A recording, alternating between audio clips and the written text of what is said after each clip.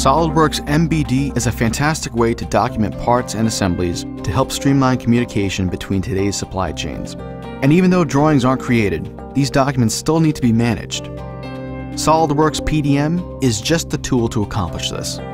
Now, SOLIDWORKS PDM has even more support for MBD. For instance, a task can now be set up to generate 3D PDFs. This task can be executed from the Actions menu in Windows Explorer or automatically as part of a workflow that gets triggered, such as upon submission for approval.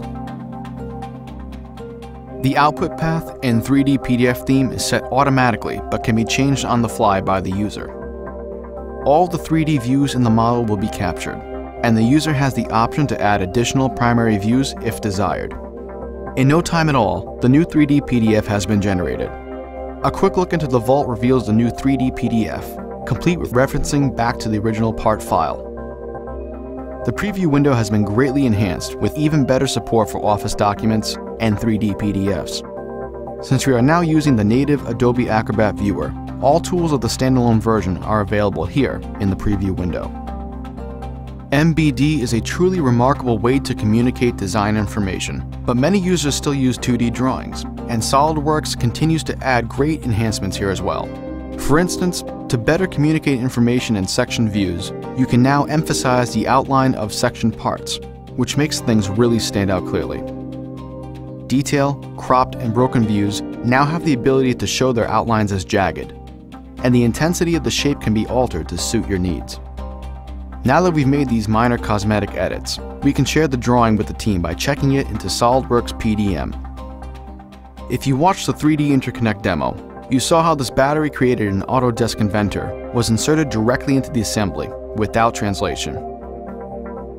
SOLIDWORKS PDM recognizes that these are native CAD files, preserves the assembly structure, and checks in these native CAD files.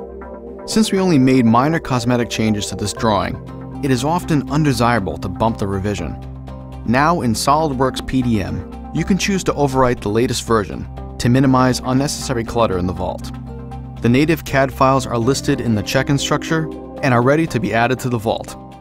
In addition to Autodesk Inventor, SOLIDWORKS PDM also supports PTC Creo, Siemens NX, Solid Edge, and CATIA. The SOLIDWORKS PDM Vault lists the native CAD files, and even keeps track of where these files are used.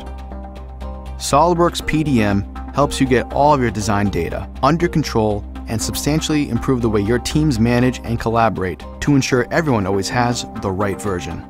There has never been a better time to use SOLIDWORKS. With more core power and performance, SOLIDWORKS proven solutions answer your design and engineering needs. To see all the advancements in SOLIDWORKS 2017, Sign up for a launch event near you or go to mysolidworks.com. Your one place for all things SOLIDWORKS.